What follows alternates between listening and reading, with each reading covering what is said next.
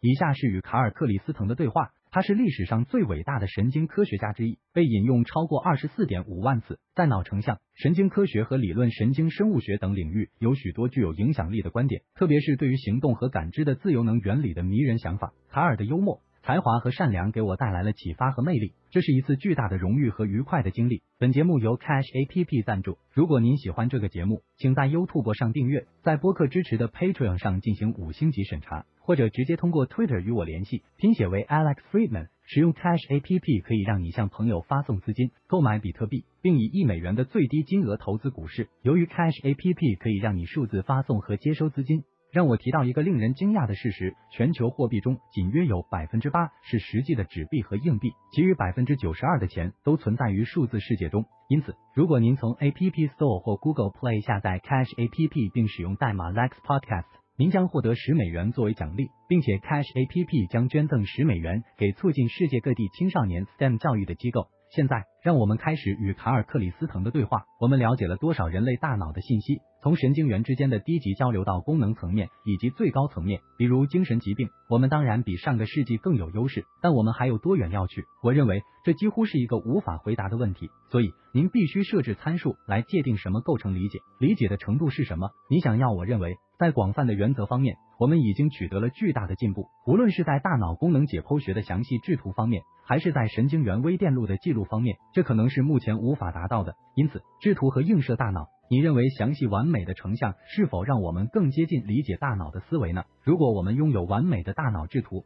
我们能走多远？我认为这方面存在着下限，这是一个非常有意思的问题，它将决定你要选择从事何种科学职业。如果你相信了解每一个树突的连接，每一个微小的突触结构，甚至到分子水平，都会给你正确的信息来理解计算模型，那么你会选择微观探究，你会研究大脑中的小立方毫米，直到你的余生。另一方面，如果你对整体功能和神经心理学家所理解的功能解剖学感兴趣，你会研究脑损伤和中风，只关注整个人。所以，这又回到了你想要理解的层次。我认为有原则性的理由不要走得太远。如果你把大脑看作是一个执行推断和表示事物的一种机器，那么理解大脑的层次就必须以概率密度和集合密度分布为基础。这告诉你，在理解大脑工作原理的概率性描述时，你不需要查看原子级别。因此，如果我想要理解某种非平衡态气体或活性材料的热力学，我个人不会像观察大分子或单个神经元那样去研究个体分子的集合体表现。相比之下，如果你将其粗粒化，你将错过一些基本的规范连接原则和架构。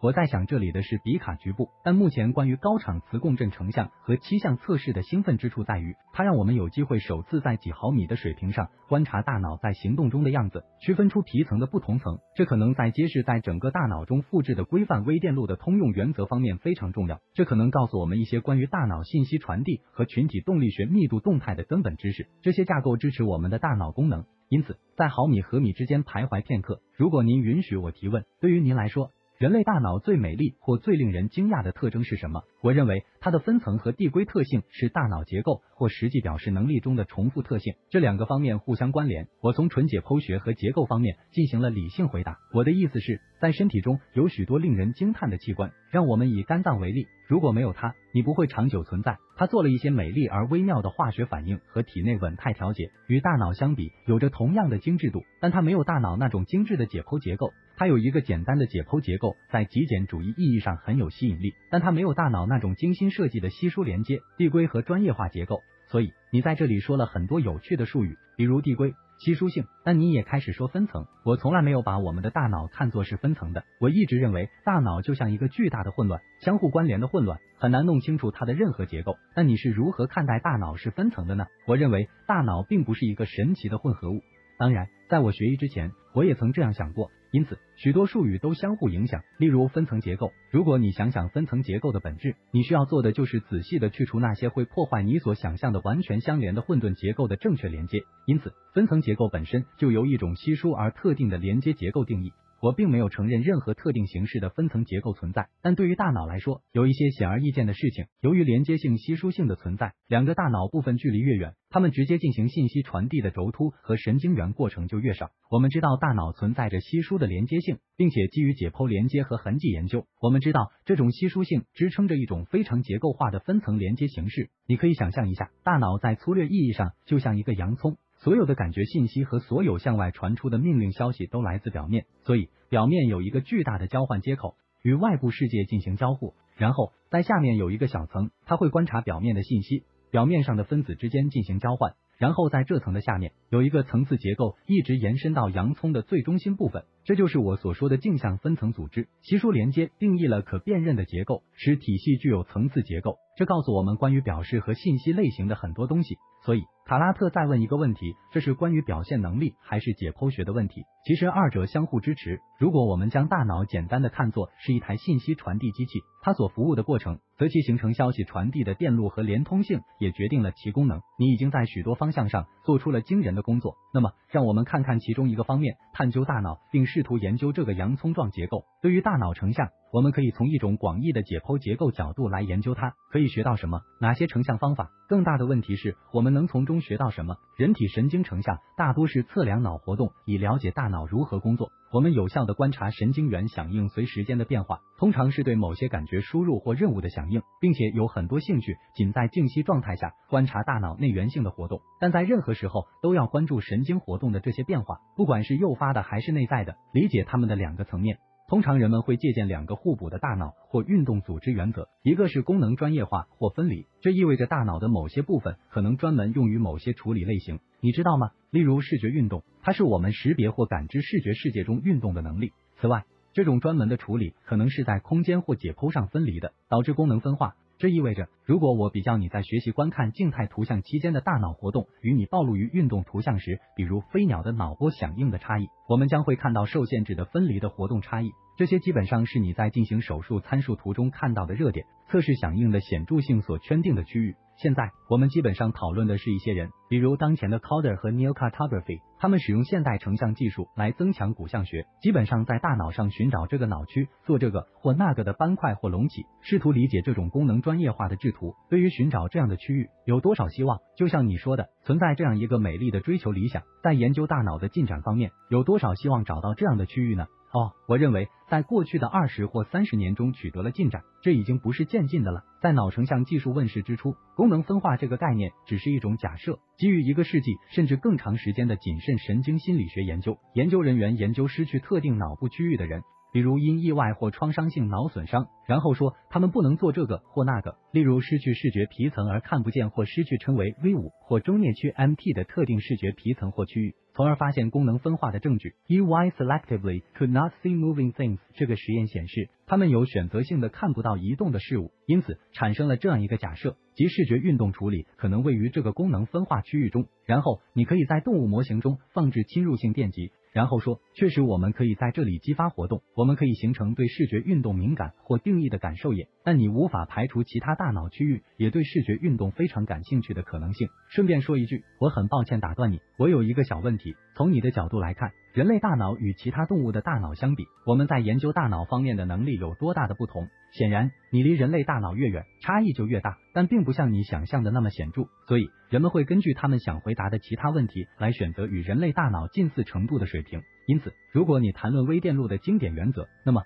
看老鼠可能是完全可以的，甚至可以看蝇虫。另一方面，如果你想研究视觉皮层和 V 一 V 二的更细节的组织，那么可能需要使用更像人类的灵长类动物，因为在使用非人灵长类动物来转移有关人体解剖学的问题方面，存在很多伦理问题。我认为大多数人都认为，从蚯蚓到人类，大多数重要的原则是以连续的方式保留的。现在回到我们开始研究大脑功能区域的初步想法，如果有些地方受损了，就可以推断这部分大脑可能对这种功能有些责任。那么，这将引导我们到哪里去？有什么接下来的步骤呢？嗯，事实上要回到你对大脑是一个魔术套件的概念，但这实际上曾经是一个非常突出的观点。例如 Lashley 的质量作用定律，它继承了这样一个观察结果：对于一些动物来说，如果你只是取出一勺大脑，不管你从哪里取出，它们总是显示出相同的缺陷。因此，通过基于损伤缺陷研究来推断功能专门化是非常困难的。但是，一旦我们有机会观察大脑在其兴奋状态中的亮起和反应时，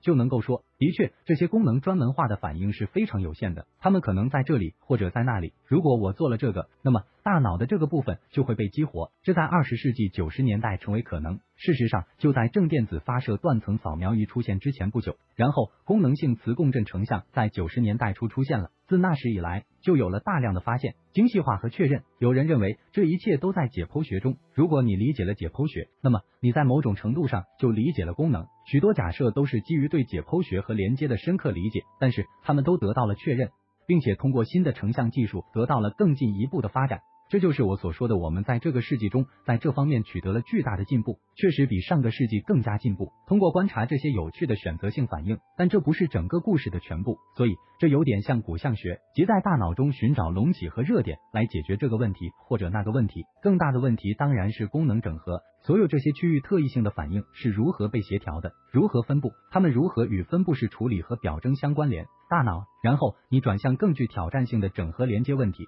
然后我们又回到了这个美丽的稀疏递归分层连接的问题，这似乎是大脑特有的，可能其他器官没有。但无论如何，我们将回到这个挑战，试图弄清楚如何进行整合。您的感觉是什么？普遍的共识是什么？我们已经摆脱了大脑的魔法汤观点，认为它有一种深层结构。您怎么看待这个问题？您认为这是值得研究的一个怪物吗？通过成像和各种不同方法来研究。答：从两个角度来回答这个问题。基本上可以从方法学和历史的角度回答这个问题。对于那些在这个领域以外的人来说，理解人脑内部的实际方法和方法学可能会很有趣。其中一个方法是统计参数图像法。Statistical parametric mapping，这也是你所在的行业的一部分。你所知道的模态，指的是你正在测量什么信号。这些信号可以从让我们局限于一些基于成像的非侵入性技术开始。因此，你基本上拥有了脑扫描仪和 Brains 大炮，它们可以测量大脑不同部分的结构属性，水和脂肪的含量以及铁的含量等。你可以对器官的结构做出许多推断，就像你从 X 射线中获得的那种类型的属性或特征。但是，这是一种非常微妙的 X 射线，它正在查看这种属性或那种属性。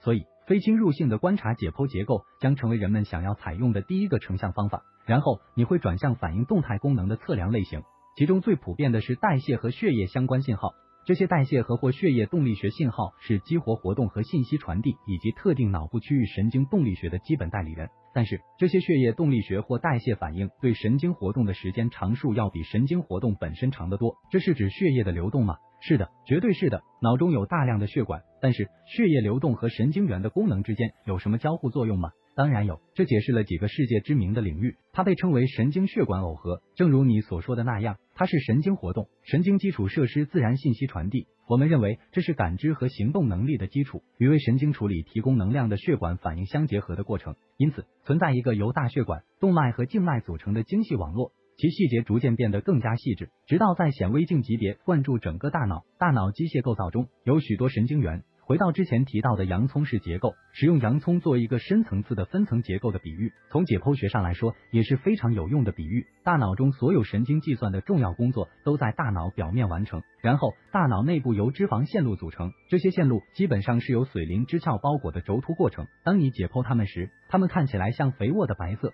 所以被称为白质。而执行计算的神经皮层由神经元组成，被称为灰质。因此。灰质是一个表面或皮肤，坐落在这个大球的顶部。我们谈论到神奇的魔法汤，但实际上它是一个由非常仔细结构化、相互连接很少的集合组成的大球，类似于意大利面条。所有的计算都发生在洋葱的皮层表面上，这意味着你需要提供适量的血液流动和养分，这些养分被神经细胞迅速吸收和使用。这些细胞没有像你的腿肌肉那样的能力来基本上花费它们的能量预算。然后稍后还回来。大脑代谢中一个奇特的事情是，它真的需要在瞬间推动代谢。这意味着你基本上必须打开水龙头。如果大脑某个部分有很多神经活动，就像一个杯子的一小部分，可能只有几毫米，你确实需要立即浇水，并且必须在几秒钟内完成。这其中包含了很多婴儿信息。成像可以告诉你一个故事发生在什么地方，但从分辨率上来说，会略微受到损害。部署这些浇灌花园的小微血管，以使活动能够进行。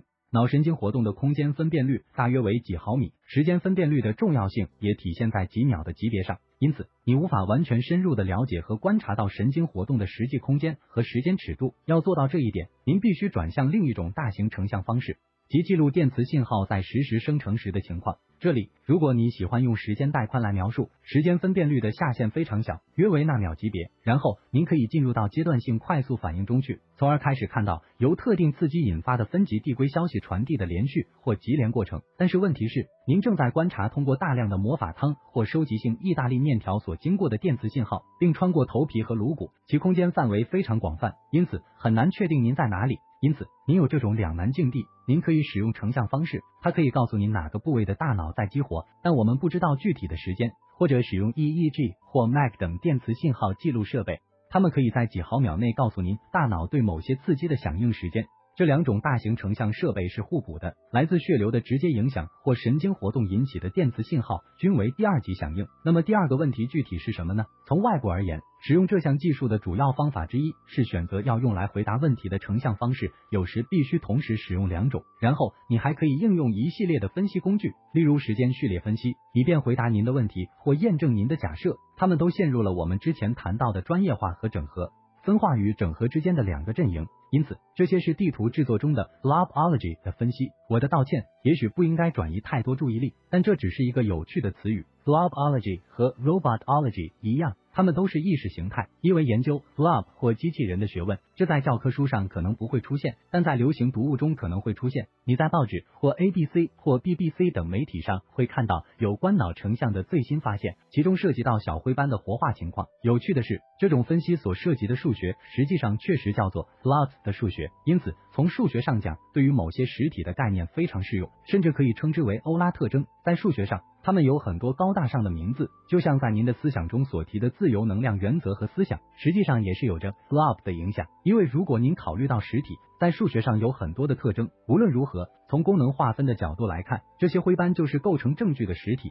您已经将这个功能分成了这个灰斑，这不在灰斑之外。这基本上是地图制作人的工作。如果你是一名美国的地图制作者，并且你不知道如何说明地方，那么第一件事就是确定城市的位置，例如山脉。河流等所有这些唯一的空间和定位特征，可能是拓扑结构的特征，因为我们需要根据数学语言来确定一个城市在卫星图像上是什么样子，或者一条河流是什么样子。我想要像一座山一样，你知道有什么数据特征可以证明那个特定的桌子或物品在地图上放置时所具有的木材特征？通常用这些斑点或现在的方式来描述它们，这是一个关键的统计度量，它的激活程度超过了阈值，并且在大脑的特定空间区域内跨越了这个阈值，就会形成一个斑点。这基本上就是物理参数映射所做的事情，它的基础是数学分析。因此，你可以描述这两种方法：一种是时间上有噪声的，一种是空间上有噪声的。你需要尝试和确定哪种方法更有用。最近我有机会在一个名为 Neuralink 的公司待了一天，他们使用脑机接口，他们的梦想是了解大脑，通过穿过所谓的工厂墙而进入到大脑中，能够进行双向交流。您对这种脑机接口技术的未来有何看法？能够直接接触大脑，测量某些信号。发送信号以及了解大脑的功能，我的感觉是矛盾的，既有好的一面，也有坏的一面。我自由的承认这一点。如果你看看那种相互但具有侵入性的神经刺激留下的遗产，那就是其中一部分好的方面。在谈到我们理解大脑的某些方法之前，我没有完整的描绘出它们。而不只是通过损伤部位的缺陷研究。实际上，在我们所处的百年机构神经学中的一些早期研究，是通过对狗的大脑进行刺激来观察大脑的反应。他们的反应要么是通过肌肉，要么是通过唾液分泌，并且推断出大脑的这一部分正在处理什么。如果我刺激它。那么就可以得到这种类型的反应，这告诉我很多关于功能专业化的知识。大脑刺激有着悠久的历史，现在仍然受到广泛的关注，尤其是深度脑部刺激治疗帕金森病已成为常规治疗，并且也是了解帕金森等运动障碍神经元动力学的好方法。甚至还有人对磁刺激进行研究，并希望能用它来治疗抑郁症之类的疾病。虽然这种方法还比较粗糙，但是历史证明这些强制性的干预确实可以改变事物，就像购买电视一样，无论管子是否正常。它仍然能运转。脑机接口 BCI 是大脑计算机接口的一个美妙例子，它开辟了自己的领域和追求，并且取得了巨大的发展。尽管仍有限制，我们的能力得到了提高。例如，通过感觉替代来理解大脑如何与世界进行交互，包括尝试替换失去的视觉信号，通过给予人们全新的信号来扩展他们的感官能力。最令人感兴趣的例子之一，就是让人们感知磁场，这样他们就可以用磁感应器感觉到自己在地球磁场中的位置，并感受到压力。令人难以置信的是。几周后，他们开始习惯这种感觉，并将这种新的感觉信息融入到身体中。他们的脚所感受到的世界现在配备了这种磁性方向感，这告诉我们大脑对于改造自身和扩充感官领域的可塑性潜力，以及突然尝试通过增强或扩展感知数据来解释感官数据的可塑能力。你可以测量出这些数据，以便更好的理解和掌握大脑的本质和力量。但这显然是纯粹用于娱乐和理解的。我想大多数脑机接口的应用都是针对解决临床和人类问题。比如锁定综合症、截瘫或替代失去的感官器官，如失明和失聪。然后我们来到了我自己的消极负面部分。我不想让人泄气，因为我的泄气言论可能很大程度上是出于无知。一般来说，我们目前所知道的大脑与计算机接口的带宽和位速率都非常低，仅仅相当于用极慢的莫尔斯电码进行交流，甚至与我们实现人们在治疗截瘫和失明等方面的期望相去甚远。因此，我们不得不问，是否存在大脑与某种扩增或人工界面之间递归信息交换的下限？有趣的是。回到本文之前我谈到的内容，如果我们将功能界定为推理，那么假设存在一些基本原因，使我们认为在讨论集合活动时，我们基本上是在谈论控制另一个高度结构化。非常相关并且非线性的系统的挑战，这对于大脑计算机接口非常重要。它的研究基于大脑和天气这样的非平衡稳态和动态。例如，想象一下，你有一些非常具有攻击性的卫星，可以产生被称为天气系统一部分的信号。现在你正在询问的是，我能否有意义的介入天气并改变它，使天气以我想要的方式响应？你正在谈论几乎无法想象的混沌控制规模，因此可能有根本性的原因。为什么你可能永远无法实现类似于科幻小说中理想的脑机接口？因为要真正成为系统的一部分，并且是不可变的，需要你已经进化成那个系统的一部分。你必须成为一个非常精细结构的、深度结构化的动态结合活动的一部分。这与修复破损的计算机或插入外围接口适配器完全不同，更像是进入天气和活性物质，并有意义的将其与外部世界联系起来。所以，我认为存在巨大的挑战。因此，我认为天气的例子是一个很好的例子。你描述了一个非常有趣的画面，它并不像我想象的那样消极，而是基本上在说这可能非常具有挑战性，包括带宽的下限等。我来自机器学习的世界，所以我自然而然的认为最难的部分是控制天气的工程挑战，让这些卫星运行起来等等。一旦它们运行起来，那么剩下的就是基本相同的方法。这些方法使你能够在围棋的游戏中取胜，也可能让你在这个混沌的环境中进行操作。所以，我希望机器学习方法能够帮助我们玩转这个混沌的环境。但也许你是对的，可能需要通过生物学来实现。大脑是一种难以置信的系统，对于我而言，进入它可能几乎是不可能的。但在我看来，似乎不可能的是你所描述的令人难以置信的血管混乱。如果你不了解大脑，你也无法评价它。你不能犯任何错误，你不能破坏事物。所以对我来说，这个工程挑战似乎几乎是不可能的。在 Neuralink，让我印象深刻的一件事是和才华横溢的神经外科医生和机器人学家交谈。这让我意识到，即使这似乎是不可能的，但如果有人能够做到，那就是这些试图应对这个挑战的世界一流工程师。因此，我认为我们讨论的结论基本上是这个问题非常困难，但希望并不是不可能的。那么，如果可以的话，让我们从基础知识开始。你也提出了一个非常有趣的原则——自由能原理。我们可以从自由能原理开始吗？实际上，自由能原理继承了很多从大脑中获取高维时间数据的这些数据分析方法，因此我认为承认这一点是有趣的，尤其是那些解决功能集成和连接分析等方面的分析工具。但我也应该承认，它继承了很多机器学习的东西。自由能原理只是一个正式的声明，即管理在不断变化的世界中幸存的任何系统的存在必要条件可以被描述为一个推理问题。也就是说，你可以将存在的概率解释为你存在的证据。如果你能将存在的问题写成一个统计问题，你就可以使用已经为推理开发的所有数学方法来理解和表征必须在这个推理服务中发挥作用的合奏动力学。因此，技术上意味着什么呢？你可以解释任何存在于环境之外的实体或存在于其所处环境中的实体都在尝试最小化变分自由能。如果你来自机器学习社区，你会知道它是负证据下限或负拐点，也就是说，你正在尝试最大化。或看起来好像你的所有动态都在尝试最大化其边缘自然或证据的互补，这基本上就是自由能原理。就算你退一步，或者像你说的存在必要性，这里有许多美丽的诗句，但是粗略的说，基本上就是试图描述。如果你看着一个斑点，你怎么知道这个东西是活的？什么是生命？什么是存在？所以你可以看看大脑。你可以看看大脑的部分，或者你可以看看这个原理应该适用于几乎所有的事情和系统。这是一个令人着迷的哲学问题，涉及到每个层次，以及回答这个问题的方法论是什么？什么是生命？这是一个巨大的努力。很好的一点是，至少从某些角度来看，有一个清晰的答案。那么，也许你可以谈谈这个优化视角：一个活着的系统试图最小化什么来最大化什么？一个活着的系统是在试图最小化什么？你做了一个重要的推断，即认为物质在状态上可以是生命或非生命状态。那么，我可以问你，什么让你认为某个事物存在？这就是我使用“存在必要性”一词的原因。它超越了生命，只是存在。因此，如果你深入挖掘存在的定义，那么它们就具有某些特性。从非平衡稳态物理学中借用数学，可以实现这一点，如同液滴在溶剂中的存在。为什么不会溶解？这是自由能原理试图通过优化过程回答的问题。自由能原理断言，如果某物处于非平衡稳定状态，那么它必须表现出优化某个特定数量的特性。这个数量恰好是机器学习中的证据下限，或 Bayesian 统计学中的贝叶斯模型证据。这是一个关于自我信息精益度的约束，本质上它是处于特定状态的概率的对数。从物理学家的角度来看，自由能原理适用于一系列系统，但在其最简单的形式下，它可以应用于可以根据其环境进行识别的单细胞生物体。油滴与溶剂之间的界面就是一个可以应用该原理的系统。该原理试图解释为什么界面会随时间而存在，为什么油滴不会溶解在溶剂中。总的来说，自由能原理是一种理解和描述各种物理系统中非平衡稳态性质的方法。它提供了一个有用的框架，从物理学的角度分析和解释这些系统。从物理学家的角度来看，液滴和它所浸泡在的外部状态之间的界面特性更重要。物理学家将这些外部状态称为热域，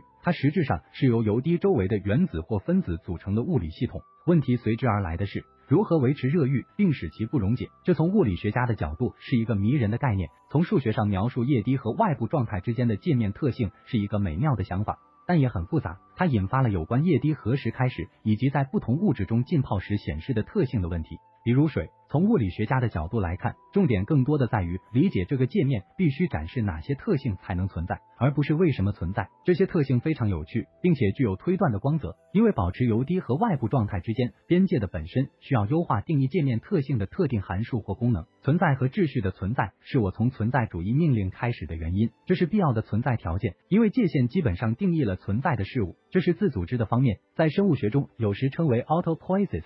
而在计算化学中，则称为自组装。这是什么东西？把自己从不存在的状态配置出来的事物，它们清晰的与它们所处的混合物的状态区分开来。例如，从计算化学的角度来看，你只需要理解这是一个大分子的构型，以使其自由能最小化。它是热力学自由能。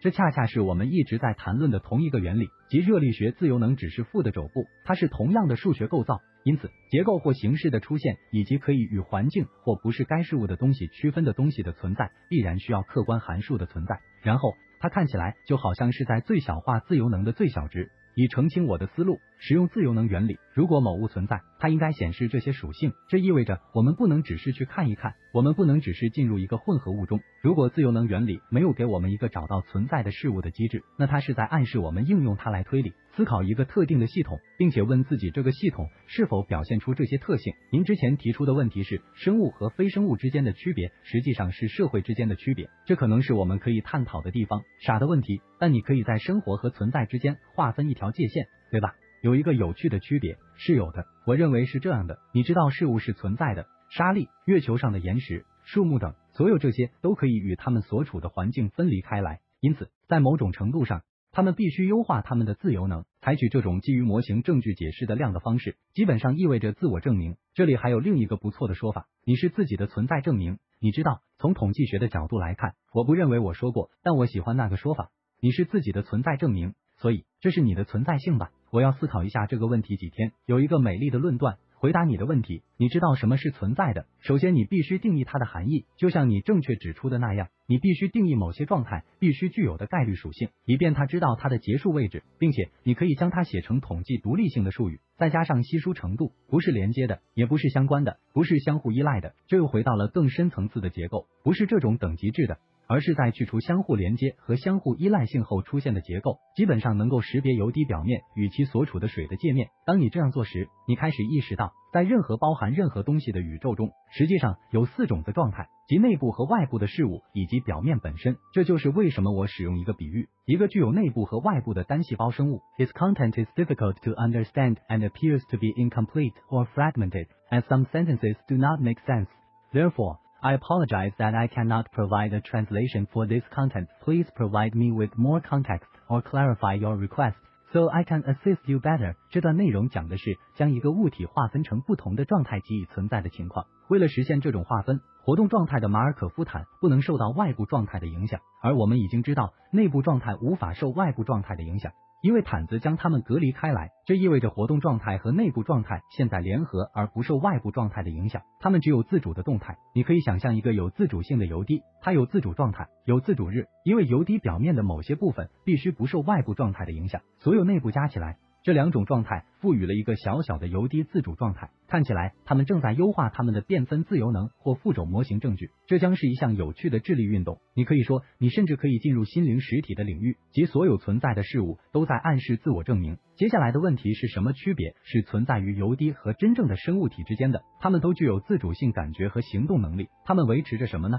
它们之间的区别是什么？我不确定正确答案是什么，因为它们都可以移动，移动似乎是能够在环境中行动的重要元素，但油滴也在做着这件事，所以我不确定购物中心的水滴移动，但它内部是否可以自主移动呢？或者表面正在执行维持其结构的动作？是的，你太聪明了，我只是指一个被证明为被动的小油滴，它就坐在那里。底部在玻璃的顶部上。我想表达的是，你完全正确，你甚至已经准确把握了它的运动方式。那么这种运动来自哪里呢？如果它来自内部，那么你有一个我认为是生命的东西。我的意思是，内部状态可以影响反应状态，反应状态可以影响，但不受外部状态的影响，可能会引起运动。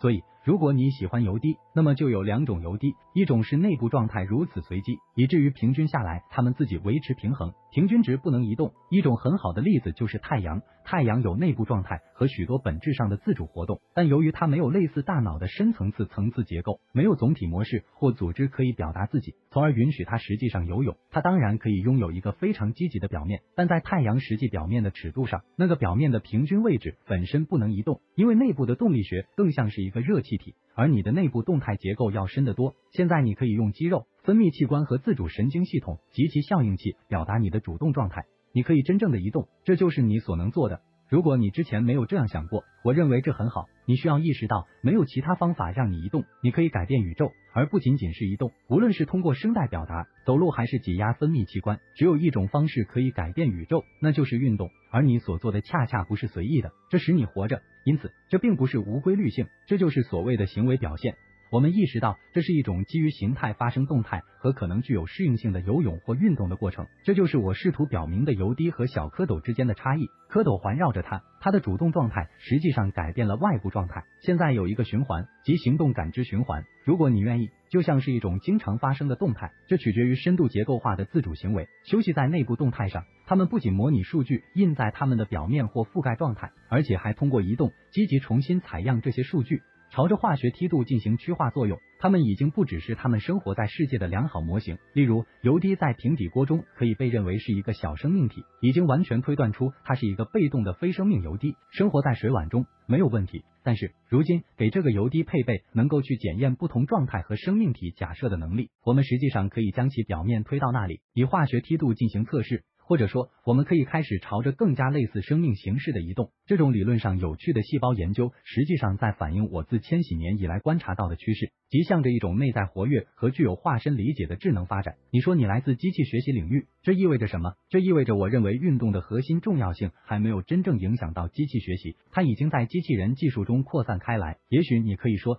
在一些主动视觉问题中，你确实需要移动相机来采样数据，但是数据挖掘和深度学习方面的机器学习并没有处理好这个问题。他所做的事，而不是处理运动问题和主动采样数据。他们说，我们不需要担心这个问题，因为我们有大量的数据，所以我们不需要运动。对我来说，这是当前机器学习中一个重要的遗漏。当前的机器学习更像是油滴，是接受了几乎所有数据的油滴。与孵化出来寻找正确数据的蝌蚪不同，例如，他喜欢食物。这是一个好的假设测试。分析师可以移动并摄取食物，以查看这是否是他喜欢的食物的证据。因此，下一个自然问题是，在我们描述存在和生命的美丽图景时，即使在人工智能系统中，您是否认为在这种框架内定义意识或探索意识的想法是可行的？例如，您是否可以找到自我意识，并将其扩展到意识这个概念上？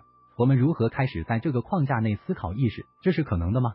我认为这是可能的思考方向，但是是否能够得到明确的答案，我并不确定自己是否有资格回答这个问题。我认为您需要与合格的哲学家交流，以获得明确的答案。但是人们肯定对使用不仅仅是这些想法，而是来自信息理论的相关想法，试图确定与意识的数学、计算和几何学相联系的方法非常感兴趣。例如，通过极简主义的意识，即使我对自我认知的要求最低，我所谈论的是有效规划的能力，因此具有代理能力。你可以争辩说，病毒确实具有某种代理能力，因为它会有选择的找到寄主和细胞并移动，但你不会赋予它能够思考规划和有目的地移动的能力，而这需要考虑未来。相比之下，你可能会认为蚂蚁不像病毒那样无意识，它似乎有一种目的。它在觅食时与路上的朋友交谈，具有一种不同的生物自治权，超越了病毒。因此，这里涉及到规划复杂度的某些线条。如果我们能够找到一条线超过这个线，那将是非常美妙的。生命存在和意识是我们画出的美好界限。然而，还有一点需要注意，这也是我在过去几个月才学到的哲学概念——模糊性。你说找到一条线将会很棒，我之前一直认为有一条线在某个时刻会被画出，直到大约四个月前，一位哲学家告诉我关于模糊性的概念。我不知道你是否听说过这个概念，它是一个技术性的概念，最能说明的是在哪个时刻一堆沙子变成一堆沙子，是一粒沙子、两粒沙子、三粒沙子还是四粒沙子？在哪个时刻你会把线画在一堆沙子和一些沙粒的集合之间？同样的。问我在哪里把有意识和无意识之间的线画出来是否正确？因为这可能是一个模糊的概念。尽管如此，我完全同意你的观点。我知道某些系统具有规划能力，这只是从推理自证明的角度出发。我的意思是，字面上的动力学描述维持你的油滴形态的热力学和梯度流，被称为画布。它在你的肘部具有 Molek 贝叶斯模型证据的优化。自证必须成为对表面感官部分或你的 Markup 毯子上的感觉印象的原因模型的证据。如果该模型具有计划能力。则必须包括未来行动状态或动作规划的模型。因此，我们现在处于规划及推理的游戏中。现在，请注意我们所做的，我们已经远离大数据和机器学习，因为再次移动的后果，选择那些数据或那些数据，或看那边，就可以立刻告诉你。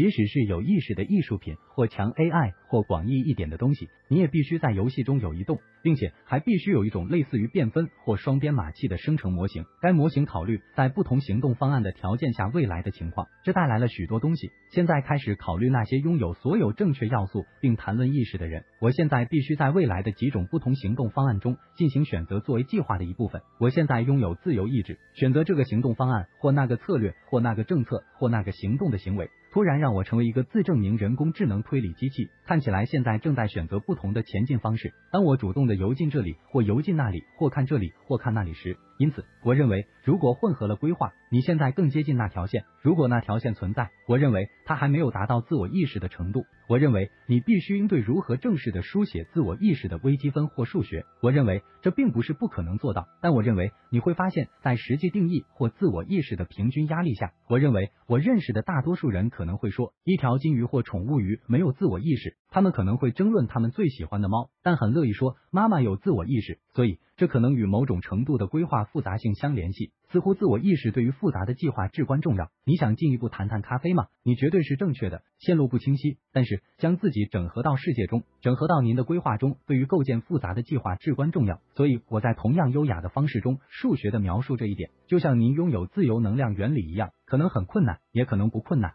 是的。也不是，我认为这并不好。也许我们应该回去。重要的是您给出的答案。如果我只是解包，您会看到真理，或您暴露了法国。但也许是这样。我记得我以前没有回答您的问题。那么自由百科全书原则有什么用？只是解释非平衡稳定状态的漂亮理论练习吗？是的，他除了这些之外什么都不做。它可以被视为我们的傲慢，但是你知道，它就像自然选择的理论或假设一样美丽而不可否认。但是它对您绝对没有其他信息告诉您，而且它也不能让您建立某些东西。因此，直接推动自由新闻或大腿本身，就像大多数同义词理论一样，毫无意义。当然，通过同义词，我正在谈论 naturals 理论。适者生存。一旦最适者没有生存，那么为什么呢？因为 th 中心的圆盘内缩代表着自由能原理具有相同的紧缩性词句，在它的内部，这是事物存在的特征，因为它们最小化它们的能量，而这个被最小化的能量被称为自由能。它们的存在使它们不断绕着圆圈转动。然而，实际的应用不是从自然选择中得到的，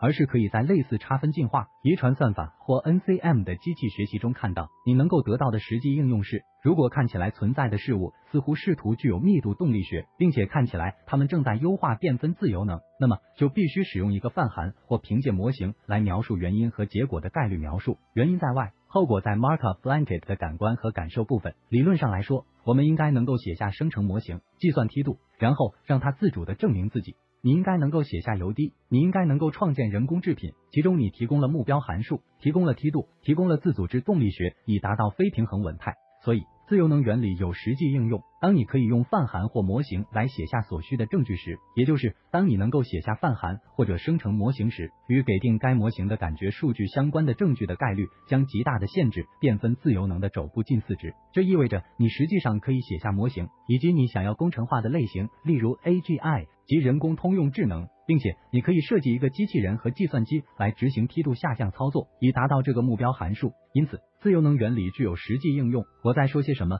似乎与此相关。所以有哪些这类型的问题呢？对于这个问题的答案，数学上很容易。我告诉你，只需要将完美的人工智能概率分布模型写下来。覆盖这个物件所嵌入的世界的因果关系，然后你只需要设计一台计算机和机器人来对目标函数进行梯度下降，没有问题。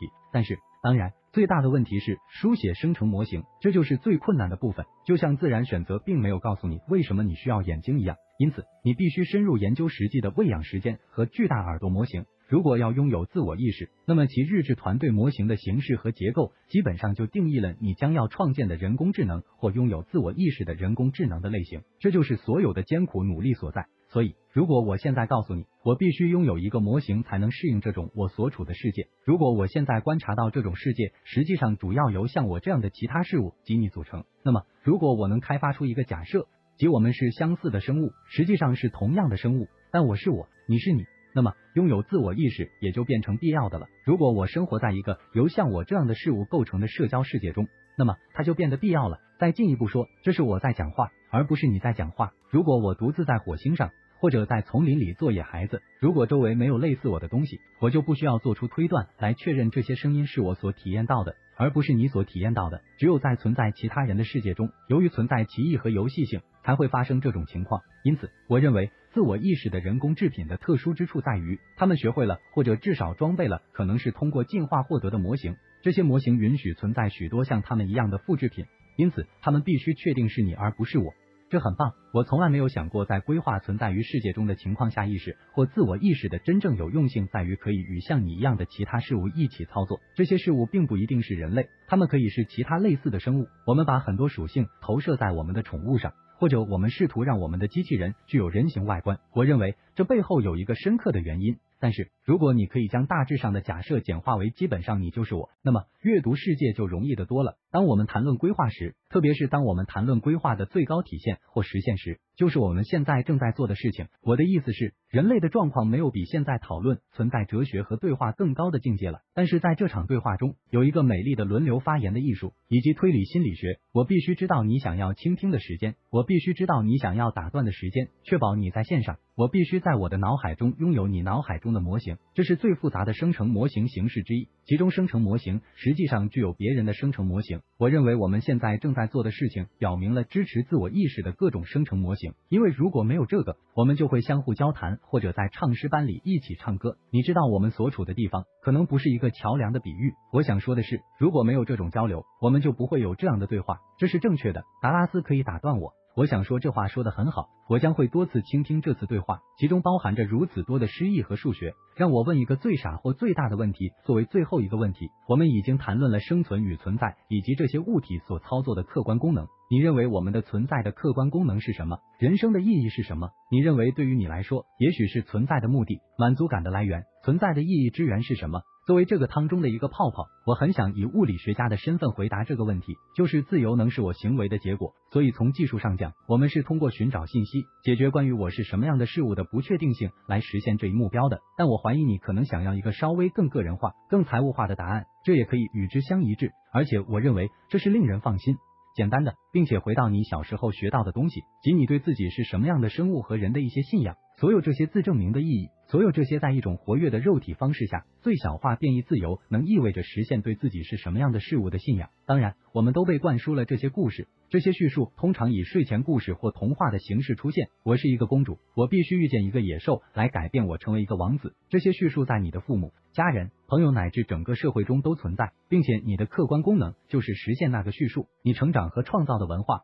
我指的是一种游戏，因为这种积极的推理是自我证明的一种不活跃的方面。你知道的不仅仅是我在模拟我的环境、我的认知、我的外部状态，我还在不断的积极改变它们，而且他也没有在同样的回应我。我们是一起做的，所以有一种同步性。这意味着我在不同的时间尺度上创建了自己的文化。所以现在对我来说很自私的问题是，我给了什么样的脚本？基本上是爱因斯坦和福尔摩斯的混合体。所以我尽量吸烟。避免过多的人际交往，但享受这种幻想。你知道，你是一个受欢迎的科学家，会有所作为，以一种古怪的方式。这就是我成长所在。我的父亲是一名工程师，喜欢科学和类似于阿瑟爵士和他的时空和引力等真实的事物。这是广义相对论的第一个可理解版本。所以，虽然所有的童话故事在我成长过程中都是关于这些角色的，除了霍比特之外，因为我很紧张，这是一段探索之旅。我想我已经成为了一个我想象中的温和的福尔摩斯家。阿尔文斯塔在我的鞋子里会做什么样的人？而你优雅而美丽的完成了这一切。卡尔里斯顿今天非常荣幸能与你交流，谢谢你抽出时间来。我不认为你会感到羞愧。谢谢你收听这次与卡尔里斯顿的对话，感谢我们的赞助商 Cash A P P，请考虑通过下载 Cash A P P 并使用 Collect Podcast 来支持播客。如果你喜欢这个播客，请在 YouTube 上订阅，在 Apple Podcast 上打五星评价，在 Patreon 上支持他，或者简单的与我联系 Twitter 和 Lex Friedman。现在让我用卡尔弗里斯廷的话结束：你的手臂移动是因为你预测它会移动，你的运动系统试图最小化预测误差。谢谢，感谢你的收听，希望下次再见到你。